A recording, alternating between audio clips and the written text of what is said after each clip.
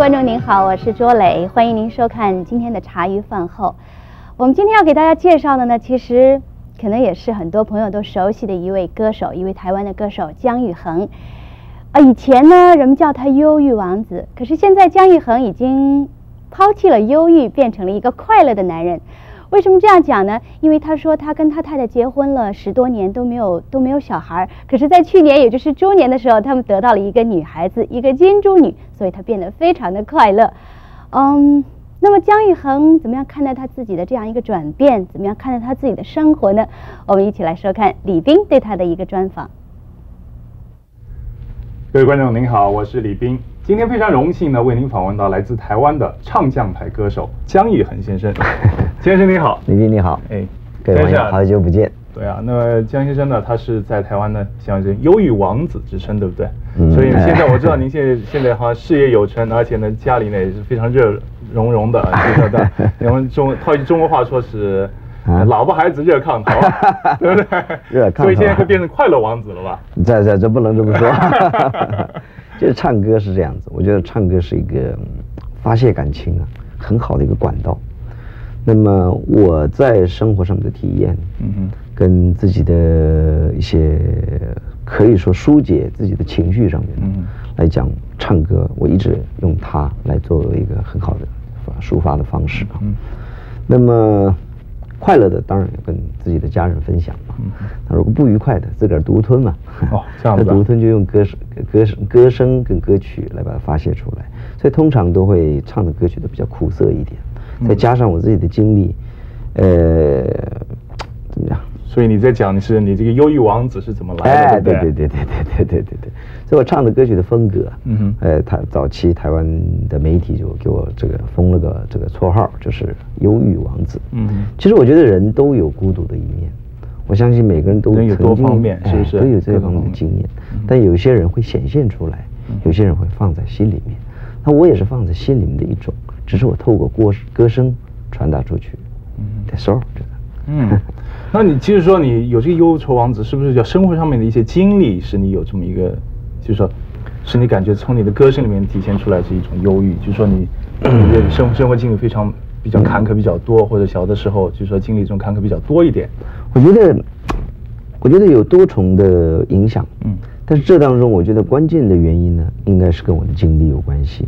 比方说有人说我的歌声，嗯，他先天性听起来。他说有点受伤的感觉，那我这种受伤、受受伤的这种这种歌声啊，唱某些歌曲会比较贴切。如果唱一些所谓的这个快歌，可能掌他的韵味啊，掌掌握的不是很贴切。嗯嗯嗯。再加上我自己本身所经历过的这些这些这些经验呢，嗯我会因为其实唱歌跟演戏有点相类似的，就是。他，如果你自个儿的经验真正有某某些经历的话，你不用去想象，没错，因为你自己本身就有这种感受。是用心在唱，对对对对对。所以说，在我这样子的过程当中，包括感情，包括生活的历练，包括我对亲情的看法，包括对各种的价值观呢，都融入在我的歌声的时候，我不必去去想太太用想象的，因为我自己都体会过。虽然我不算老，当然过去了。二十来岁，但是以我二十来岁的年纪来讲，我承受的我可能比同年龄的比较多。我们观众朋友都知道，您好像是韩国华侨。哎，我是韩国来的。就是说，你其实能不能谈谈，就是你当时是怎么进入这个演艺这个圈子？就在这个之前呢，是经历过什么样这样子生活的历练？韩国华侨啊，其实我觉得也许是北方人的这种这种这种个性吧。嗯韩国华侨，我们都是几乎都是第二代。第一代呢，就是这个所谓的我们大陆讲是解放啊，解放的时候那时候就有些人都到韩国去，所以韩国华侨几乎百分之九十以上都是山东，因为山东的距离啊位置，也就是你是祖籍山东了，对，我是山东，哎，那么我们父母亲都是到了韩国之后才吃吃这个这个空手打天下的，嗯嗯嗯那我们这第二代呢，其实也没有什么富裕的生活，能做的也都是餐厅啊，在这一类的劳力的生活，那我小时候呢，家境就不是很好。嗯，呃，没过过什么好日子，所以我父母亲身体又不健康，所以我十六岁就开始我要要要要这个自个儿养活自己。那么我十三岁的时候我就在学校住校，嗯哼，因为我家里的距离的关系啊，所以十三岁就开始学会自个儿照顾我自己。那开始赚钱之后呢，就尝到这个所谓的人间冷暖呐，嗯，就开始有这种，这真的是体。切身的体验啊，尤其在异国他乡。哎，异国他乡，这真是那些王八蛋不把我当。不 不是不不是这么说，不是这么说。就说在那儿我是外国人，嗯，那这是合情合理的。我本来就是中国人嘛，可是回到台湾之后又把当外国人，这是很伤脑筋了。对，华侨是华对对对对对对对。那我做过的哎，对对对，我做过的工作种类也算是蛮多的，所以在这个差不多将近十年的时间呢。那这个过程呢，我觉得对我的收获很大，也知道也建立了很多，因为这样的经验建立了很多我认为的正确的价值观，嗯所以我的人生指标跟一般人可能有一点点点出入。那你怎么怎么进入这个歌唱这个事业？歌唱上，嗯，我最开始练吉他是我在高一的时候，嗯，高一时候。呃，我腿生病，我打石膏打太淘气是不是？顽皮，顽皮，对对对。那打石膏八个月呢，我哥哥就买了把吉他，我就开始在家里专心练吉他，算是嗯练了一首不错的吉他。然后开始很入迷，很入迷所谓的西洋歌曲啊，这些流行歌曲啊。然后开始整天不念书，就开始整天玩音乐。嗯哼，一直到念大学也都是这个样子过来。那么因为这样子的自己的投入啊。呃，对这个音乐的这个感觉感受啊，可能也比较来的深刻一点。哎，那个时候就开始在外面有做这个这个弹吉他、唱歌的这样的经历啊。那真正开始接触这个。唱片是在台湾是民国啊一九八四年，我出的第一张专辑，很幸运，第一张专辑就哎就普遍被接受。你进入那歌唱界已经十一年了，是出了专辑已经出了大概有十七张，十七张了，对不对？你觉得这个歌是怎么选择出来的？就是你比如说你要创作一首好歌，嗯哼嗯哼，你这种灵感是从哪里来的？哦，嗯。我先介绍一下背景啊，我在台湾曾经有两家唱片公司，那么过去那家唱片公司我的第一家，也就是说我刚入门的时候，什么都不懂，我有制作人帮我做这一方面的全权处理。那么我在第二家唱片公司的时候呢，我就有一个条件，就是说我非得要自己制作我自己的唱片，因为我我也不是偶像，我是真正在乎的是我要做我自己的音乐，有这份理想。那么开始制作的第一张专辑是《驿动的心》，嗯哼，那还好，哎，普遍被接受，不然我就回老家了，不干了。就说《驿动的心》，接下来有一世情缘跟往事干杯再回首，这每一张都普遍被接受啊，也让我增加更多的这个信心跟勇气啊，继续朝这条路走。那我在制作上面的角度呢，我是扮演这样子的角色。也就是说，我在我们讲挑歌、选歌，我选几十首歌进来，对对对。然后呢，会我会我会来评断，哦，这张唱片我所想要表达的是什么，会欠缺什么样的歌曲？因为我觉得一整张唱片不应该只是一首歌、两首歌好听而已，应该是整体的面。它不一定是流行歌曲的感受，但是你还是要言之有物，还是要给它东西听才可以。除了它的旋律之外，你想要表达的是什么？所以整体性我比较在乎。那么。在我自己来讲，我呃前面有提到，就是说我会用我自己的生活的题材，我自己有什么样的感觉？因为人将心比心嘛，没错，对不对？我有什么样的感觉，跟我很多人可能会有相同的感受。我只把我自己很单纯，动机很单纯，我有什么样的感觉，直接表达出来。那以我这样的经验跟经历，如果用我的歌声来很贴切的表现出来的话，我相信能够引起共鸣。这是我的希望做到的，嗯哼，一直以来，哎，还不错，大家都蛮支持的。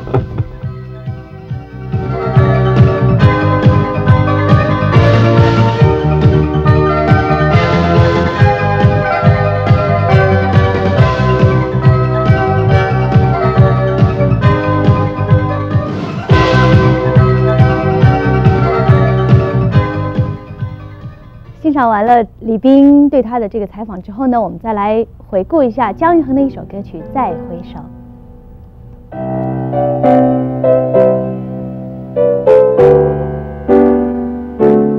再回首，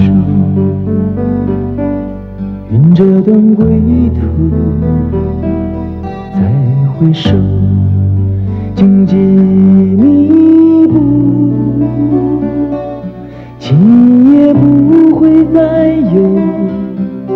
难舍的旧梦，曾经与你有的梦，今后要向谁诉说？再回首，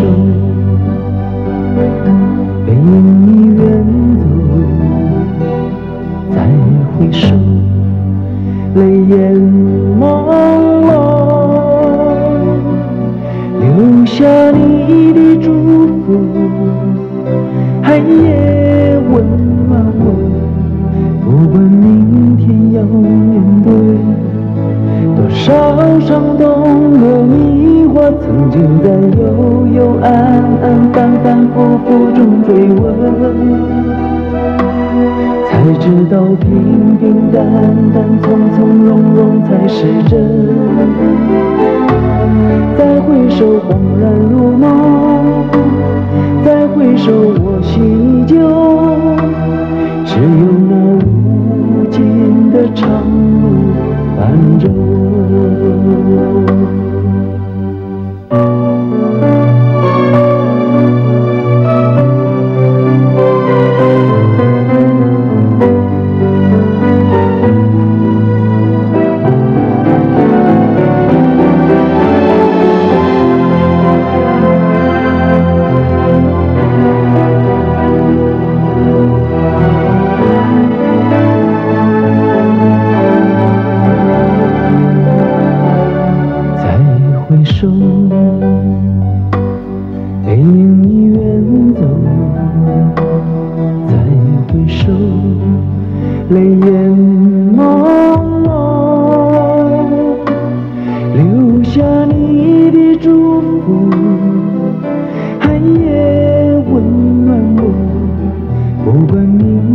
要面对多少伤痛和迷惑，曾经在幽幽暗暗、反反复复中追问，才知道平平淡淡、从从容容才是真。再回首，恍然如梦；再回首，我心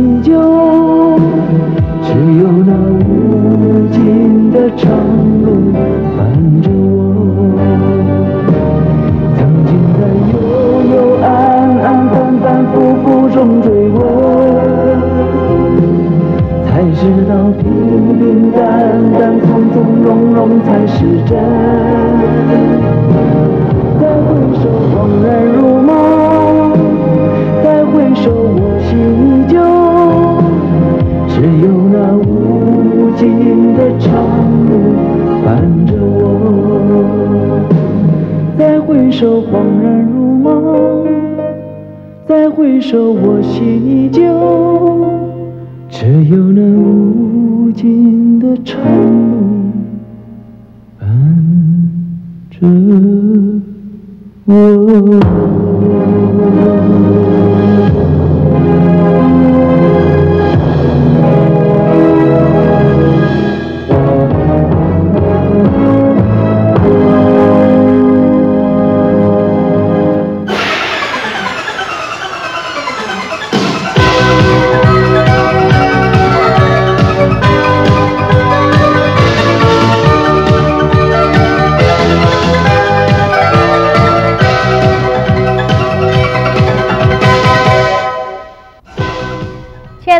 好，我是卓磊，欢迎您收看今天的茶余饭后。嗯，今天我们要给大家介绍的呢，仍然是姜育恒。那么在今天这个专访中，姜育恒要给大家介绍呢，就是说谈一谈他两岸三地的歌迷。他说他最喜欢的歌迷是大陆的歌迷，哇，好得罪人呢。嗯，另外呢，他还要做谈一谈他做父亲的感受和他今后的一个打算。那么现在我们一起来收看李斌对他的专访。您的歌迷非常多呢，海峡两岸，我我记得您的歌是最早传到中国大陆，我也是你最早的歌迷。哎呀谢谢一九八六年，我记得是一九谢谢谢谢八六年、八七年的时候听到的，就是台湾传来的一个歌曲里面，是最早接触的还是你的歌曲。我觉得，我也觉得很纳闷，因为我全世界，我我相信有中国人的地方都可以听到我的歌曲啊。嗯但是呢，我认为我自己认为，我最受欢迎的地方是大陆，嗯是中国大陆。那你能不能谈谈，就说那个你你开歌友会啊，嗯就是开歌唱嗯歌唱会、演演唱会呃，海峡两岸、香港、美国我都做过，嗯你能不能比较一下各地的这种歌迷的这种心态有什么不一样的？你你的感觉？哦，我觉得真正真正啊，嗯。听歌的人呢、呃，比较在乎的是，我觉得海外的朋友啊，对我的歌曲啊接受度反而比较高。我想可能是异乡游子，嗯，听我的歌曲来感，可能感受比较深，比较比较有共鸣一些。驿动的心呐，有些归航啊，那种歌词啊，很能够打动他们的心。我觉得再来就是大陆的人呢，大陆的人崇拜偶像的比例啊，很很低。嗯哼嗯哼，像越富裕的国家，可能在可能没事儿干嘛，就就就多余的时间呢，就可能去做一些不能讲无聊，但是他这也是他的发泄的方式。那他会对这方面的比较注意。但是大陆呢，我觉得听歌的水平啊，我认为是比较高。我认为是比较，他是真正的去揣摩一首歌曲。对，台湾呢，听一张唱片，听个一两首，他就不听了。嗯哼嗯。他只是啊，他用这种方式的。像我们从前听一张唱片的话，一一定是每一首歌都听听得很熟很熟的。我觉得大陆还是保持现在这个样子，可台湾就不是。台湾就说哦，我就觉得买买人不买不买不买不买歌，他是买人的。所以我觉得这种现象，偶像哎，对对，偶像比较。所以我觉得偶像一定要存在，因为它代表一个社会的一个一个生命力，哎，它活络。对。但是呢，你没有实力的话也不行。嗯实力代表是进步。没错，哎，那一定要这个 balance 才行。那现在我们台湾来讲，偶像的成这个这个这个比例啊比较高，但是大陆接受的是实力的比较高，再加上大陆的本身的生活条件，再加上他一些也许政治上的压力，或者是疏需要疏解的方式，他听到这样的歌词，我认为他的引起共鸣感的比较多。也许这个原因吧，我在大陆。我是全世界大陆最后，是听你的歌哈，就感觉到你的歌词，不管从哪，从音乐方面，音乐也好，是是，从那个歌词也好，就非常认真的在做一首歌，不是说就是一个好的旋律就完了，这个歌词嘛乱呃乱做一下就完了，你的歌词好像就非常认真做出来的，歌词非常之好。我在制作人的，因为我的文笔很差。我是华侨，我们华侨学校的水准呢最低。这歌词谁做的？有人找个代写的？不是我找的，我真的是这样子。比方说，哎，你文笔很，你本来就写词的嘛，那我就哎来来来来，我跟你讲三天，嗯，我讲一个故事，由你来代笔，我告诉你我的精华在哪里，怎么怎么怎么怎么样，由他来代笔。所以我写的曲啊，我很少自己写词，不是完全没有，我都是找一个我熟的人呢，对对，知道怎么样跟他沟通的方式。然后那也是，其实也是我要的东西，是相同的，哎，相同的。所以你现在那个作词、作曲、演唱这些方面啊，你最喜欢还是什么？还是演唱？哎，不是，各有不同。嗯，你怎么说吧？一个是老婆，一个是孩子，那这这这这怎么取舍呢？都好，都好。但是成就感来讲，嗯，我觉得创作上面的成就感呢，大于大于演唱。演唱上的虚荣感呢，虚荣心呢，大于创作上面的。因为你看台下的观众啊、掌声啊，这这方面呢，来的是直接的感受。嗯可是你真正以以以你所你的理想来讲的话，跟创作比较接近。有一些音乐朋友讲哈，就是说那个在在台上演唱，嗯，就是说，其实你们做音乐在在台上演唱，这种自己的那种欢乐哈，其实要胜过台下的一些观众。有有没有这样的感觉？嗯，我想这个问题呀，可以刚刚跟有一个你提的问题可以连接起来。怎么说呢？你说我唱每首歌都很认真，比方说我，我通常我会把歌曲啊分四个部门，嗯，一个是旋律，一个是歌词，嗯，一个是我的歌声，再来就是编曲。这四个部门呢合为一体的时候，唱歌很简单。嗯哼。可这个不四个部分呢，就全部分开来的时候呢，唱歌是个很难的事情。唱歌，当然你的歌声包括你的感情，没错。所以我通常在唱一首歌之前呢，我一定会听过很多很多很多很多很多次。嗯哼，我就对对这首歌，我一定听到听到听到，我知道啊，这首歌是应该用什么的方式。所以我每一首我都不会去疏忽。当然，这是我也认为是我应该做到的。所以每一张唱片我所花的时间，幕后的时间花的很多很多。所以我平均要花多少时间？你说花很多很多，出一张唱片从一开始。收集到最后出唱片大概有多长时间？以我的工作方式来讲，最起码四个月到六个月。嗯，所以我一年呢，差不多出一张这样子，这样子而已。非常认真，是是。所以我自己幕后质量又那么高。所以我在时间有限的状况之下，我不可能做太多太多太多。嗯嗯但是如果说我可以分工合作的话，也许可以一年出两张或者怎么样。那我又不愿意，反正我自个儿要做我自己的东西。其实我也不靠这个赚钱，我只是真正想要做我自己的。这个这个的成这个的喜悦跟成就感是没有任何一个工作可以取代的。是，那我赚钱。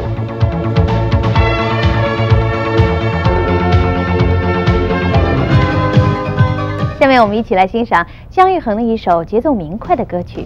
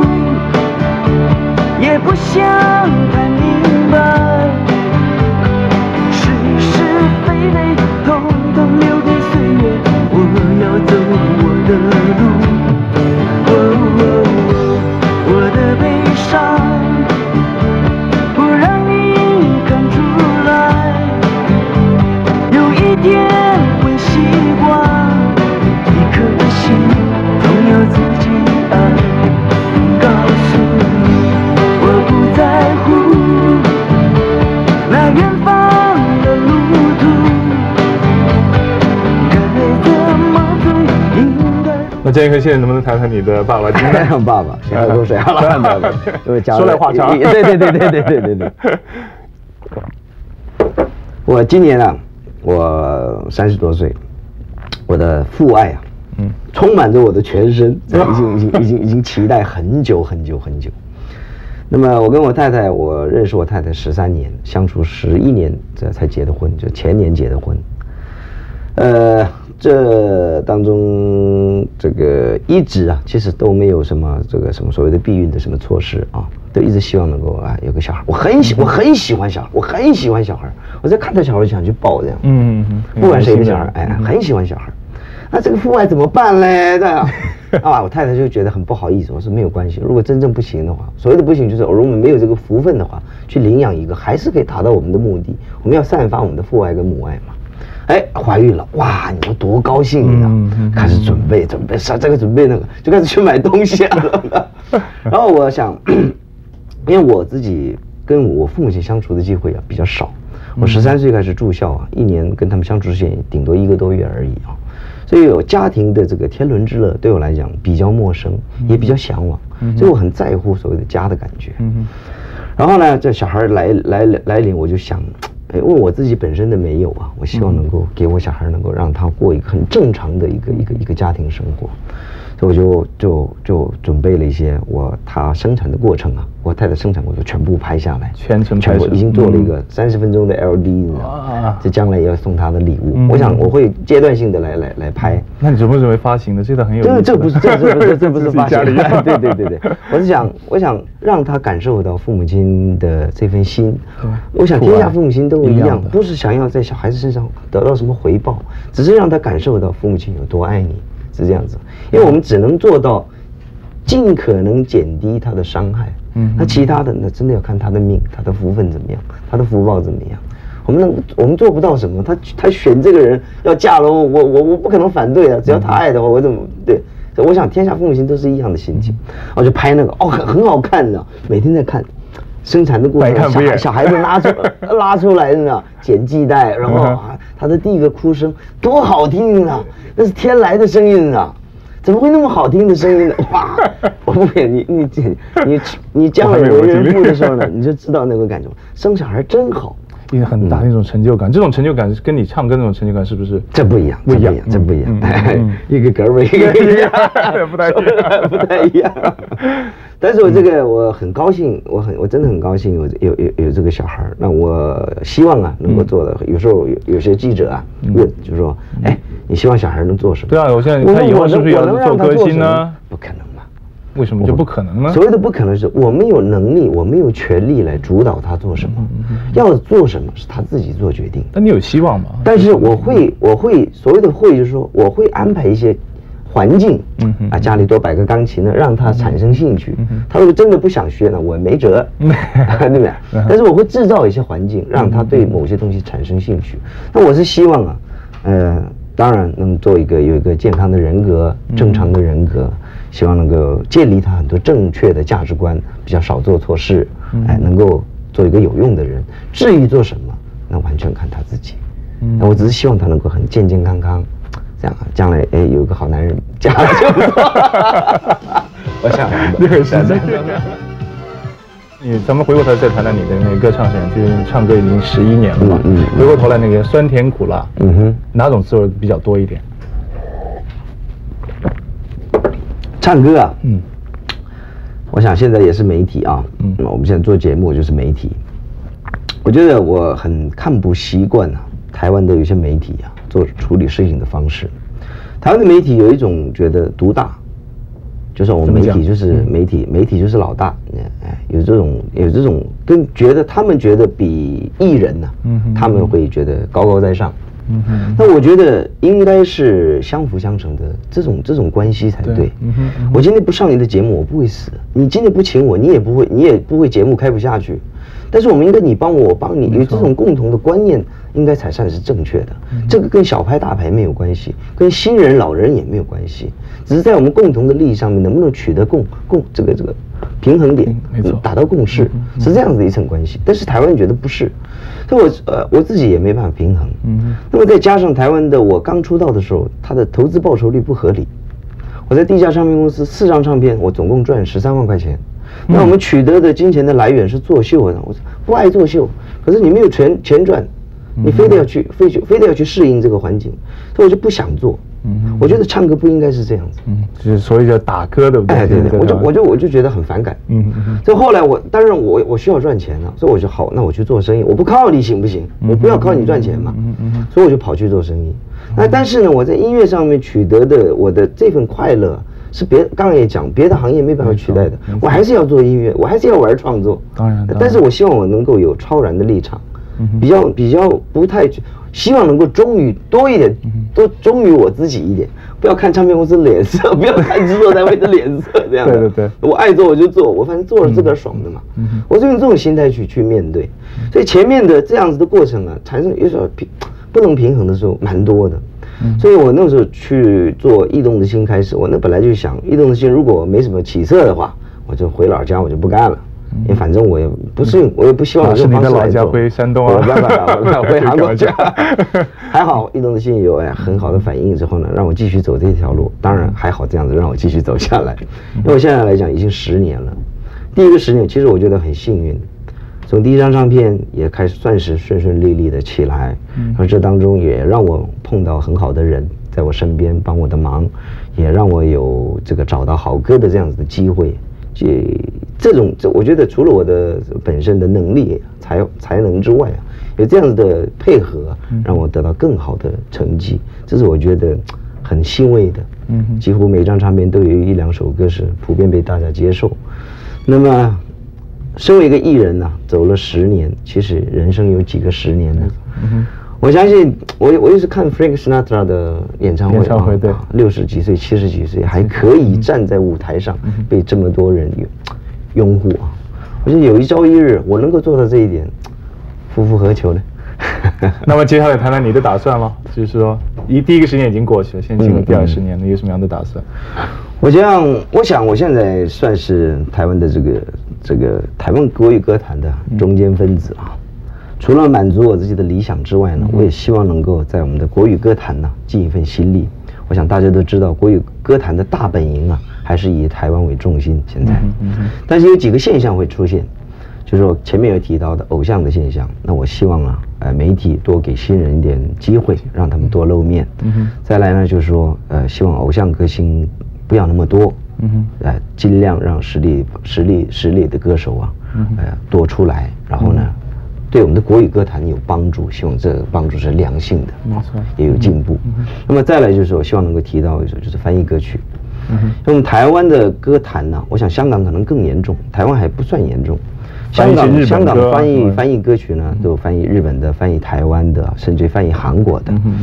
那基本上我们东方的这种这种这种这种音乐啊，它的类同性啊会比较多。跟西方来讲啊。西方有些音乐不一定适合在东方来来来来播出，那么比较能够接近的是，我觉得日本歌曲啊，比较最最最最容易能够打成一片。没错，当然不是全部，还是看日日本歌曲种类比较多。那我是觉得，虽然这样讲，音乐不分国界是没有错。那么包括我自己，我唱过的歌也有日本日本歌曲，那是真的是觉得很好很好的关系。但是我觉得这这真的并不是一个最好的现象。我们还是多鼓励，这是还是一句话，多鼓励台湾的创作人选。那这种创作人选呢？因为你要有合理的投资报酬率，人家才能做这种事情。当然，台湾在进步当中，包括制度有在改善，包括对智慧财产权的这种观念也有在进步。我希望这些都能够在不久的将来看到更好的果实，然后呢，让国语歌坛真正可以领导全世界的华人。好的，那么新年已经开始了，能不能在那个新年刚开始的时候呢，给我们茶余饭后节目的观众，还有你的千百万、你的歌迷们讲几句祝愿的话。啊？讲祝愿的话，对啊，这祝愿的话每年都在讲，每年都在讲，讲个特别，讲个特别就好了。嗯，结婚的朋友赶紧回家做小孩儿，生小孩真好，恭喜大家新年愉快。好，那么谢谢您上我们茶余饭后节目，谢谢，希望你带更多更好的歌给我们的观众朋友，一定一定，谢谢，好，再见。姜育恒真的变了，嗯，从忧郁王王子变到快乐王子，这句话真的是一点不假。以前我看了很多记者拍姜育恒的片子，那我以前在大陆的时候呢，也有访问姜育恒。可是今天我看姜育恒跟李斌的一席谈之后，我觉得真是他变得他过得多么的快乐，他的宝贝小女儿带给了他无限的幸福。我们祝愿姜育恒永远这样快乐幸福。好了，我们今天的茶余饭后节目时间又到了，我是卓磊，谢谢您收看我们的节目，下次再见。颗泡沫，天亮之后会溜走，把所有委屈尽情挥洒笑谈中。